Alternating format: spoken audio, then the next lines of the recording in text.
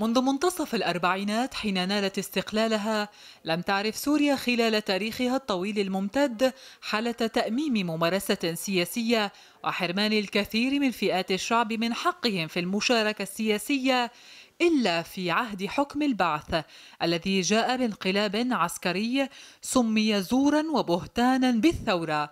دون أن يحمل أي من صفاتها ومقوماتها الحقيقية كما يرى العارفون بخبايا الثورات. حالة تأميم العملية السياسية تمثلت بشكل واضح وجلي في المادة الثامنة من الدستور التي تقول إن حزب البعث هو قائد الدولة والمجتمع.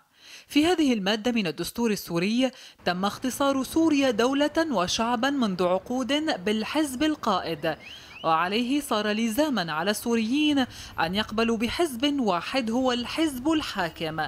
فهل ثمة مكان في سوريا المستقبل لحزب قائد للدولة والمجتمع يظل رابضا على صدور السوريين سواء فاز بانتخاب أم لم يفز؟ سؤال أجاب عليه السوريون في ثورة الحرية والكرامة. فالقول بأن حزب البعث هو قائد الدولة والمجتمع يلغي حق كل السوريين من غير المنتسبين لحزب البعث في أن يمارسوا حقهم في الوصول إلى حكم ديمقراطي.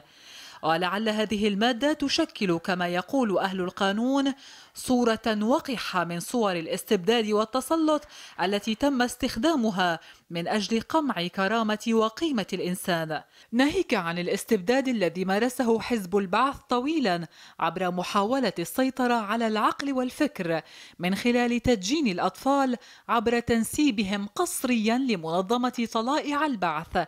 ثم الشبان عبر إلزامهم بالانتساب إلى اتحاد شبيبة الثورة في مصادرة قصرية لحق المواطن في حرية الرأي والاختلاف السياسي والعقائدي. يا شباب العرب هيا